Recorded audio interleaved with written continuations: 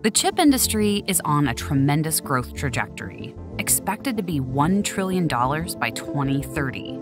But for individual firms to grab their share, they have to evolve from selling commodity chips to selling chips configured to the needs of specific industries and specific use cases.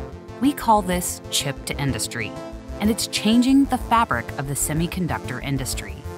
To win in chip to industry, semiconductor companies need to build different than they have before. One answer for this challenge is to build the logic on software instead of hardware.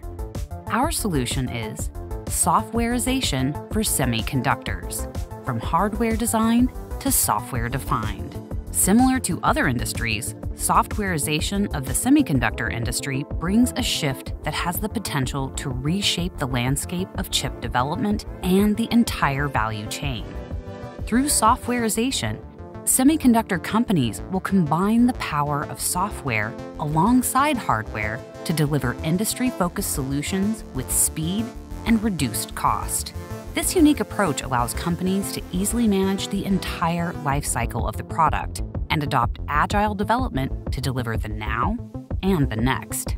Softwarization for semiconductors also opens new recurring software revenue streams and reduced design costs.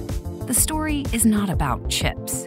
It's about the semiconductor industry and its massive transformation.